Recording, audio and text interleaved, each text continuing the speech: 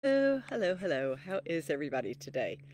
I am balancing my camera, so it might be a little wiggly today, but I just wanted to uh, to say hi, see how you are. Uh, we just got back yesterday from our uh, glacier trip, and right now I actually am staying at a friend's house for just a moment before we jump on the road and head further out. So if you're here and you have questions, um, or comments, drop them below. And in the meanwhile, this is going to be a quick, quick one today, but it's it's an important one because it's so easy to feel like like if you don't have all the time in the world that you can't do what you need to do to get in shape. So today what I wanted to talk about was what can you do in 90 days? Like what can we accomplish in 90 days? So one thing we're not going to be talking about, okay, we're not talking about, we this is strictly, we're strictly talking about movement today. Um, this has nothing to do with the outliers like um, food and your habits and sleep and all of those other things. Those are off the table today. Today is nothing but movement. So let's jump in. First thing I want to do is um, have you guys, or whoever's whoever wants to do this, think about first picking your fit. Okay. So in, um, and by that, what I mean is, is this something that, is this a kickstart for you? Is this, um, you want to increase your cardio? You want to increase your strength? Um, you want to increase your flexibility? Uh, do you want to, you know, do you want to get fit for like an adventure trip like I just had? Like what's your, what is your outcome? Because that does determine to some degree what we're going to do or what your plan is going to be. So first thing is pick your fit. Um, and if you know what it is, stick it in the comments. If you're not sure, then let's just follow around long. Okay, once you do that, then I want you to think about, um, we're talking 90 day increments. So it's easy to break things into 90 days, three months, whatever, um, and then move from there.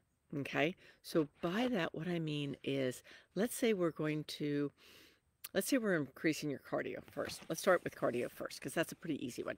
So first thing I want you to think about is, well, um, I guess, I guess this is pick your fit, then pick your plan. Okay. And then the other thing I am going to say, because I don't want to, I don't want to forget this at the end, is plan on being consistent. Okay. That is like, that is probably well, that's what got me started in what I do because I know that consistency is the key to all of this and it's easy to start, but sometimes it's kind of hard to stick to it. So think about um, what you're willing to commit to for 90 days because that's it. That's where your consistency comes in. What can you commit to for 90 days? 90 days isn't that long. Um, 90 days can make amazing changes. And um, one of them is like I was just I was just going through since I got back I had been offline and I was just going back through some of the texts in the Superfit. So Superfit's been 90 days. We're we're wrapping up 90 days in a couple of weeks. And to see the changes that have happened is so I mean, it's just amazing. I love it. So cool. Um, people are, you know, I mean, changes anywhere from mindset, like, oh my gosh, you know, I now feel like I'm really doing, I'm really doing this thing, to um, pant size fitting, pants fitting that used to not fit, to feeling better, to sleeping better, to like all of the things. And it doesn't seem like it doesn't seem like that long, right? Like 90 days, three months, it's pretty quick. So just know that the consistency really is the key to all of this. But knowing what you want to do, so picking your fit and then picking your plan, is what's going to help you stay consistent. All right, so hang on. I'm still balancing my computer. Um, but first thing I want to do is let's talk about let's talk about cardio. That's a pretty simple one. Um, so with cardio, one of the things I notice is that people always want to um, they want to know how far they went, right? Like that's like let's say that um, you know you're on the treadmill, you're you're doing a hike, you're riding your bike. It really it really doesn't seem to matter distance is always the thing that that people focus on. That seems to be the focus. But I would like to say that maybe it's not as much the distance as time, distance, and perceived effort. And by that, what I mean is if you want to increase your cardio, start out with week one. And week one is going to be like your baseline. You want to go out and whatever your cardio of choice is. I mean, it could be anything. It could be swimming, it could be hiking, it could be running it, treadmill, doesn't matter, right? Go out in week one, you want to track what you're doing. Like, and by tracking, you're going to know how long you went, doing whatever it was, um, how far you went. That's that's always fun, and then what was the perceived effort? Like, how hard was it? Okay, because this is where, like, cardio is that thing that can change really quick. Okay, like really quick, and and if you're only looking at how far you're getting, then you're not always realizing how much you're improving. So with your cardio, I mean, and in addition, obviously, when you're doing cardio, it's like, you know, heartbeats, where's your, you know, where's your target heart rate going? Um, but, but think about it this way. Like if you're really just like, oh, okay, I just want to go out and increase my cardio over the next 90 days. You start with week one, track. All right. What is that baseline? What's the baseline for week one? Um, three times a week is plenty, more than enough. Keeping it under an hour is smart because over an hour, depends on who you're talking to, over an hour or, or over 45 minutes, you start burning muscle. We don't want to do that. But start looking for your tracking to be how far did I go? How long did it take? What was my perceived effort? Um, one of the things I noticed on this last trip is that, you know, day one, it was a what we call Montana flat relatively flat um, trip. Like the rel- I'm sorry, it was a relatively flat flat trail that first day, but there was some elevation gain, and I don't remember exactly what the elevation gain was, but it was probably about 700 feet, something like that. But people are coming from places where they were already not in any elevation, Texas, St. Louis, all these different places, right? And so that first day was difficult because everybody was like kind of gasping for air. But by day three or four, um, the perceived effort became simpler or lower because they had already developed in a very, very fast time um, basically a, a base, right? A base. So, so know that on your cardio, that's usually one of the easiest ones. Um, mobility or flexibility, that's another one. People always ask me, like, you know, how can I get flexible fast?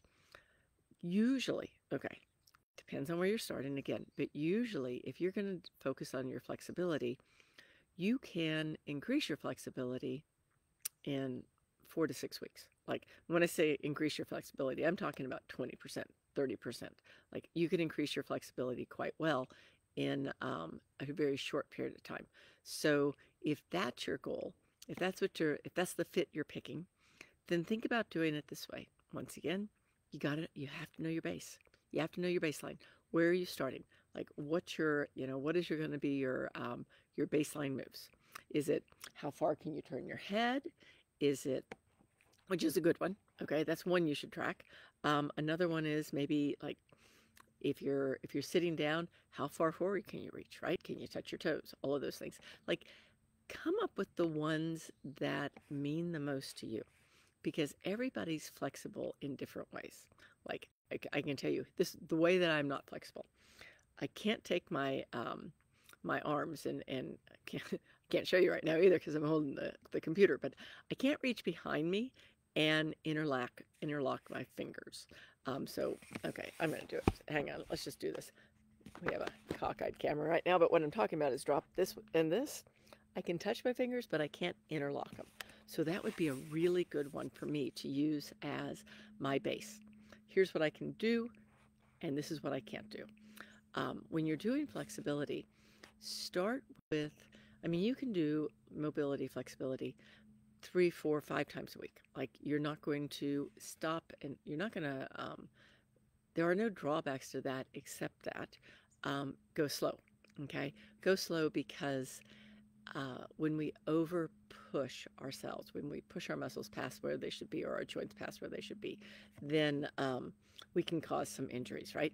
So go slow, but um, give yourself. I mean, if this is your if this is your fit, give yourself mm, ten minutes. Maybe let's pick uh, let's pick a random number, but I would say 10 minutes four to five times a week. And I think you'll see a huge difference in 90 days and a big difference in, in simply six weeks.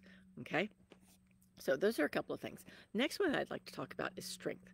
Um, you can, if you haven't done strength training in the past, um, and this is new, you will see a huge amount of change in 90 days because um, if you haven't had the muscles, then you're going to start seeing definition fast. And when I say fast, it depends on what you're doing, but um, 90 days to me is a pretty quick, you know, muscle definition show. Uh, if you have been lifting weights in the past, it takes a little longer simply because those muscles are already, um, they've already started to grow. Okay.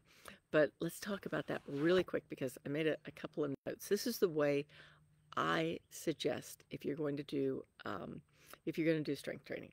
So one of them is you really need a plan. Okay. You can pick that plan using um, a trainer or using a training plan. It is very, very easy to get overwhelmed online by training plans. If you're, you know, if you're in um, Superfit or Fit is Freedom, make sure you just throw me a note and I'm happy to help you with that. Okay. Happy to help you put a plan together. Um, if you're not in there, Superfit starting again, I think next month. So come join us because I promise you, big difference. In fact, um, I've noticed in the WhatsApp group and the accountability group, people talking about muscle definition in their shoulders, muscle definition in their arms, muscle definition in their legs. So um, know that it can happen pretty quick. The way I like to do strength training is take it and break it into four week increments, okay? So four week, week increments. The first thing you're going to do is you're going to start with the foundation. Um, always always always start with your start with your tracking. Like what can you lift? How hard is it? What's the perceived effort? Don't push yourself past where you should go. Um, if you're not sure talk to a trainer.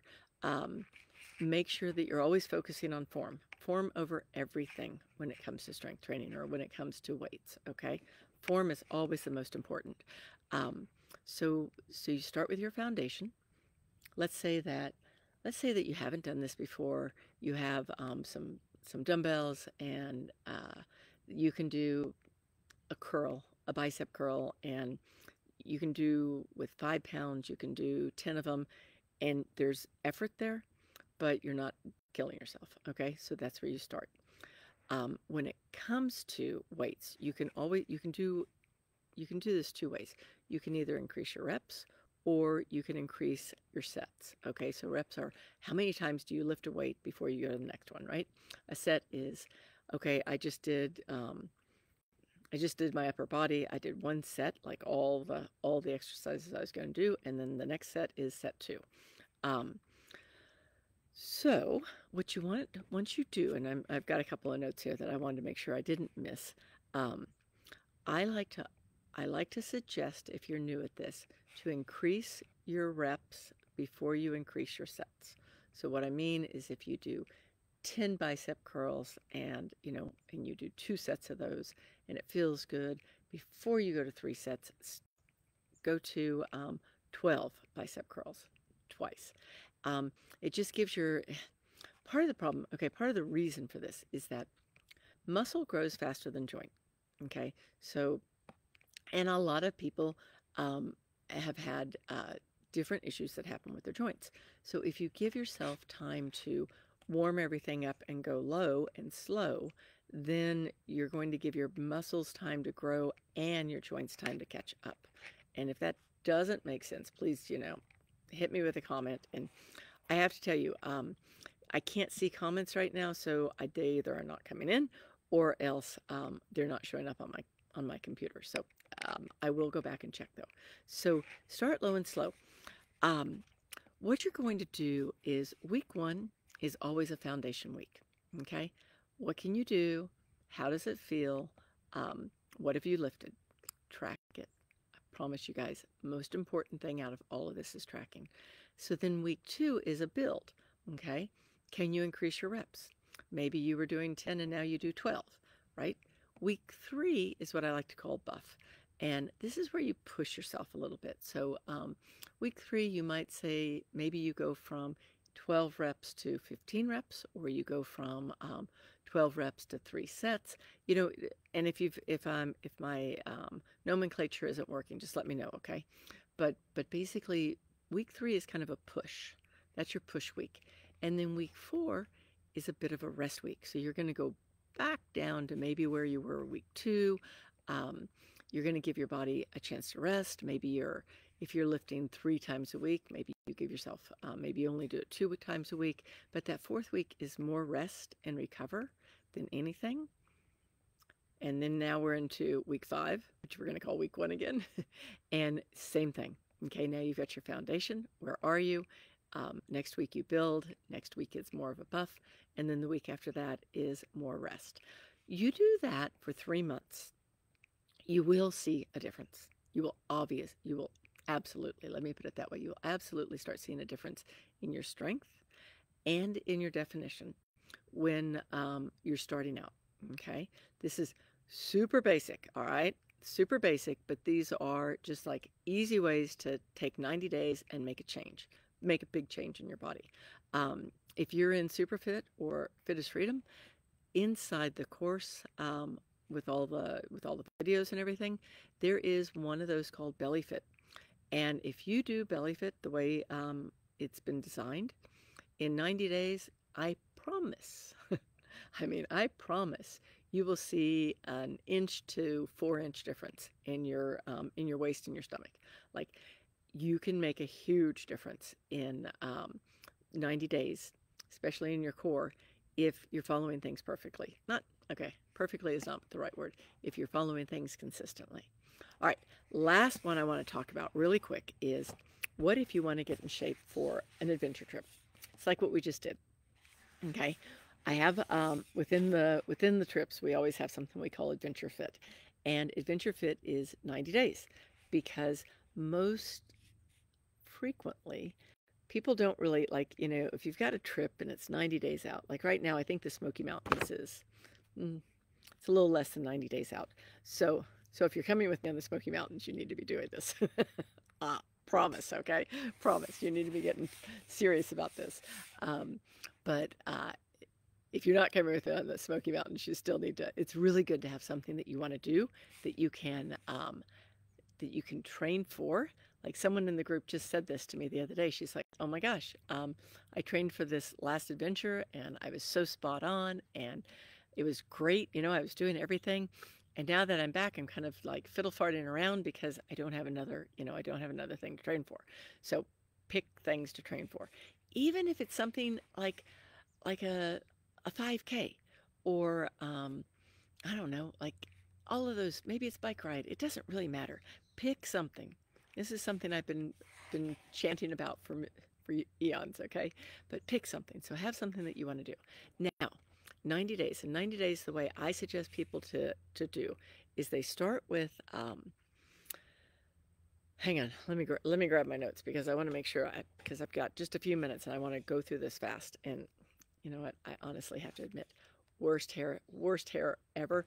But I mean, we're still on the road and I haven't had a haircut in months and this, this bandana is all I'm wearing these days. So start with month, month, month one Month one, you're going to do something very similar to what we were talking about with the, you know, by the week. But you want to also make sure you're adding in mobility. Okay? Mobility is nothing more than warming up your joints. Okay? Warming them up, starting with the feet, moving to the top of the head, warming everything up because this is where, this is how you avoid injuries. Okay? And even better than avoiding injuries, this is how you allow yourself to go further, longer, stronger. Okay? That's what mobility does for you. So start with that first one. You want to know where you're, you want to know, you want to track. Okay? What's your foundation? Um, what are you, what are you going to be doing? So let's, let's assume that we're going to be doing a hiking trip. Biking, same thing. It's just like, just replace biking, the word biking with hiking while I talk about this. But you start out with, and you want to know what your cardio is like. Okay? This is, you know, how's your cardio? Um, can you go three miles at a 15 minute mile pace? Or do you go two miles at a 30 minute pace? Like, what's your cardio build? Um, and then you also want to know like where can you train? And this is something that people forget to do, but it's probably one of the most important pieces is that you have to have a place to train. And when I say train, train can mean walking out your front door and going for a walk in the neighborhood. Doesn't matter where it is. What matters is that you have something that you know you can go to. Um, you know where you're going to go. You know what to expect. Okay because you're going to have to change it up later on. But starting out with that, you know, where can I go? What can I do? Um, so, little mobility four times a week. Okay. Even if you're not going to, um, even if you're not training that day, a little mobility four times a week is super important. Then, if you're um, that first week, you want to start with cardio. Okay. Just start with your cardio. Like, how fast can I go? How far can I go? How much do I want to train for? if you're doing, let's say you're doing, let's say you're going to do the Smokies with me. Okay, this is, I'm just going to use this as an example. We hike four to five days um, during that trip, and then we usually do one day off of like, you know, on the river or something. So you're going to go anywhere from probably a four mile day to a nine mile day. And you don't have to do the nine mile day, but, you know, somewhere right in there. And so what you want to start out with is going, okay, if I'm going to be going, you know, average five miles a day on a hike, and it's going to be more difficult because there's going to be, you know, ups and downs and rocks and, you know, all the fun stuff, um, then I'm going to start out with maybe 30 minutes of cardio. That's it. You don't have to start out with any more. 30 minutes cardio that first week. Um, and then your second week, you're going to add in some strength training because even upper and lower body, okay? two days a week, upper lower body, plus a day or two of cardio. Okay. Then you're going to make sure as you're doing this, you're also adding that mobility in every day. What you want to be shooting for is starting easy. Like let's say that let's say we're doing three months, right? So that first month, your week one is going to be easy. Week two, again, is a bit of a build. Week three is a push. Week four is a rest and relax. And by rest and relax, we dial it back you're still doing, you know, you're still doing strength a couple of times a week, but you're not pushing it. Um, you're doing your your cardio, but you're not pushing it. Your perceived effort is lower. Okay. Then month two, what you would do is you'd want to start adding some weight um, to those walks. Okay, because this is this is what gets people. Okay, people will go out and train, and they'll do a really good job of it. Maybe they're training on treadmill. Um, maybe they're walking in a neighborhood, whatever it is, they're training, but they're not thinking about the fact that if they're going to carry a pack and that pack has water in it and all their other stuff, that pack is going to probably be eight to 10 pounds. Eight to 10 pounds is a lot of weight to carry. It may not seem like it, but it is. So that second month, you want to start adding in weight. Um, and that could be anything. Extra water in your um, backpack, and, and when I say backpack, day pack, right? Just CamelBak. Um, carrying weights in your hands while you walk. It really doesn't matter, but what matters is that you really are adding the weight so that you see that what it's going to feel like. So that's week, that's month two. You keep up with your, um, you keep up with your cardio, you keep up with your flexibility, you keep up with your strength training. Month three, this is the one that um, I don't I don't really suggest dialing it back until maybe a week or maybe two weeks before your trip. So keep building, keep building. And by keeping on building, maybe you're now getting more distance in. Distance is important. Um, maybe you're adding a little bit more weight. I wouldn't go over 10 pounds. I, I just, you're not going to carry more than 10 pounds in your pack. Um, and there's definitely other videos I have out there about packing a pack because um, day packs, even though they're smaller than a backpack, people have a tendency to stuff a lot of stuff in them. So you want to carry light, but while you're training, carry heavy. All right. Um, I'm going to stop real quick and just say that uh, this this is a little bit longer than I had planned on, so I don't want to keep you guys here forever. What I would suggest is drop your questions in. I am going to be on the road for a little while today, and then I'll be stopping and checking, um, checking the you know comments, etc. Let me know, and I will also um, grab one of my training plans and drop it in, so that you can um, see Like, I, I don't know about you, but for me, it's a whole lot easier if I can actually see and follow along with the video what I'm talking about because the idea of a you know a base that foundation week a build and then a buff and then a rest and relax it's easier for me to do when I'm actually looking at a plan. So thank you all so much for being here. Um, let me know what you need. Let me know what you need me to tell you about. I will see you next week. I'm going to do one more of these next week. Um, and I'll probably be I don't know where I'll be next week. I don't know if I'll be um, I'll probably be in Canada next week. And so then at that point, I'll probably be on the road for a little while heading back to Texas. So thank you all so much for being here. I really appreciate it, and I will see you very soon.